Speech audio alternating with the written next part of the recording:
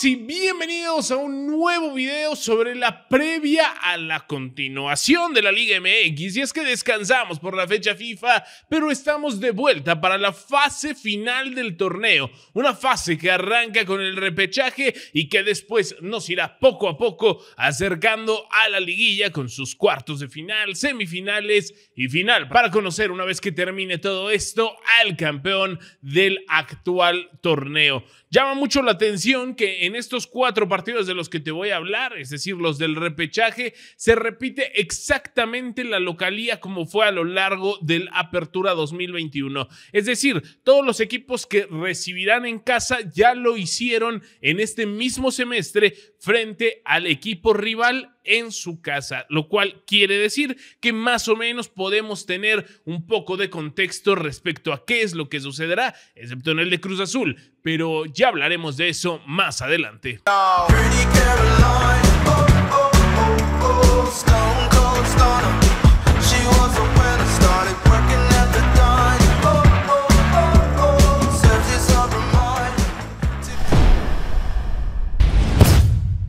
Y vamos a empezar con el primer partido del repechaje este próximo sábado, Santos contra San Luis. Partido intenso, de hecho se repite lo sucedido en la última fecha, en la fecha 17 del fútbol mexicano, cuando allá en territorio Santos Modelo, el conjunto dirigido por Almada recibía al conjunto que es administrado desde la capital española, al Atlético de San Luis, que llegaba con la ilusión de poder meterse a final de cuentas a esta zona, a la de repechaje. Lo consiguen por primera vez en su historia, desde que regresaron a la primera división del fútbol mexicano. Están ya en la fase final, pero obviamente el objetivo es llegar a ser de los mejores ocho, estar en la liguilla. Sin embargo, para nosotros esta no será su ocasión. Y es que, a nuestro parecer, Santos tiene más posibilidades de llevarse en el marcador durante la temporada regular, es decir, en la jornada 17, el marcador terminó 0 por 0 y San Luis falló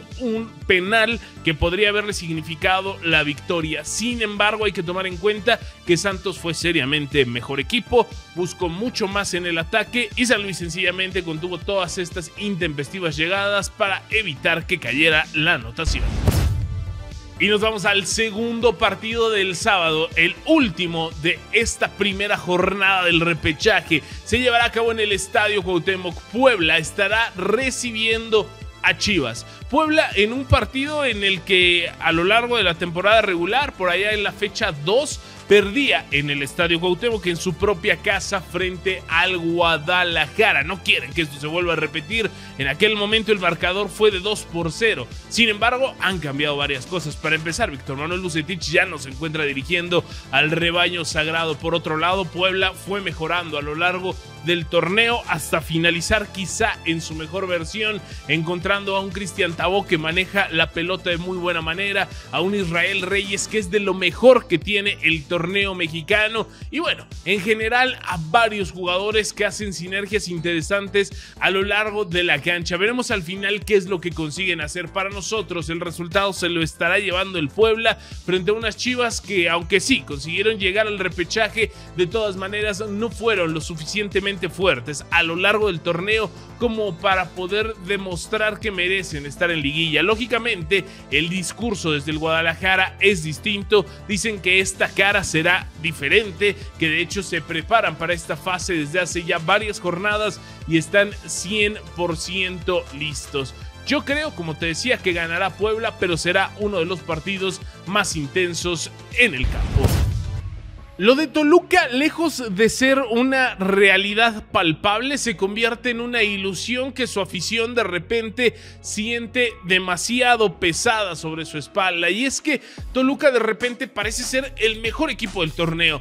Trabajan como tal, hacen muy buenas combinaciones desde la defensa y hasta la delantera. Tienen a un Rubén Zambuesa que se convierte realmente en el estructurador de todo lo que pasa dentro de la cancha, un arquitecto dentro del terreno de juego que distribuye muy bien la pelota y que incluso a lo largo de este torneo y del anterior se ha convertido en alguien que no le tiene absolutamente ningún miedo a buscar el gol. Sin embargo, se enfrentan a Pumas, un equipo que fue para arriba, ya que estaban absolutamente perdidos. Bueno, pues encontraron alguna manera de salir adelante, pierden en su penúltima jornada, pero para la última consiguen sacar el resultado frente a Cruz Azul y con esto se meten en la pelea por llegar a la liguilla. Un Pumas de Andrés Ligini que sabe que de hecho ya estar aquí es ganancia, por lo tanto no arriesgan nada. Sin embargo, por el otro lado tenemos a este Toluca que bueno, pues la verdad es que sí podría tomarse como un fracaso el hecho de no llegar a los mejores ocho,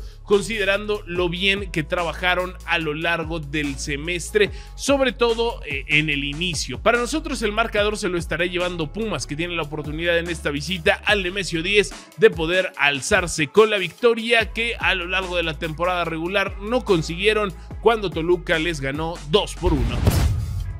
Y vamos a terminar ya con el último partido en el Estadio Azteca, en el escenario más histórico de este país, allá en el Coloso de Santa Úrsula, se llevará a cabo el único partido que no contará con afición. La razón es que quedó vetado después de los gritos homofóbicos que se escucharon en el partido de Cruz Azul contra León. Un partido en el que, bueno, pues nada, le salió bien a la máquina, al final incluso les termina costando esto, que no haya gente en la tribuna en un partido tan importante. Sin embargo, podrían haberse movido a otro estadio y decidieron no hacerlo. Decidieron quedarse en casa y aprovechar todo lo que da un inmueble de esta talla. Se miden ni más ni menos que frente a Monterrey. A lo largo de la temporada regular empataron el marcador. Sin embargo, más adelante se enfrentarían y lo harían en la Conca Champions, donde de hecho Monterrey se llevaría el marcador por muchos goles. Y es que primero ganaron por un tanto, pero para la vuelta en el Estadio Azteca, otra vez Monterrey visitando a Cruz Azul